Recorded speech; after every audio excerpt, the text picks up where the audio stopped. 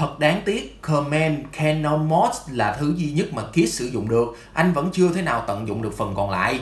Tất cả mọi thứ đã được Game Master dàn dựng, Kiss đã bị loại bỏ và anh chỉ trở lại bằng sự thông minh của mình, đưa tất cả những dẫn chứng vào căn phòng mà mình tỉnh dậy. Anh đã nhớ lại tất cả sau khi Buffa bị tiêu diệt và giành lại quyền thi đấu bằng chính điều ước mà mình đã thực hiện trong quá khứ.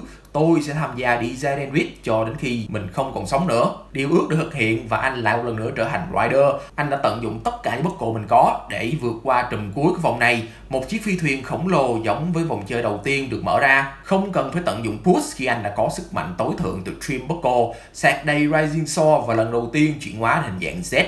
Z trang bị cho anh một chiếc máy bay phản lực với hình dạng cũng tương tự như Canon nhưng thay vì một khẩu pháo anh sẽ có một cặp cánh của những chiếc chiến cơ được gắn trên vai giúp anh bay lượn trên bầu trời. Phần thân trên của Z chỉ giúp anh điều hướng là chính, còn phần động cơ phản lực lại chính là khẩu pháo Canon, thậm chí là bay cao vượt trội so với chiếc phi thuyền bay đang ngấp nghía trên đầu của anh. Lao lên không trung cùng Rising Saw để tận dụng khả năng di chuyển của mình, né tất cả những đòn tấn công mà chiếc phi thuyền giáng vào người anh. Khả năng của hình dạng Z còn được Kiss tận dụng trong trận chiến cùng với Tycoon ở hình dạng Canon.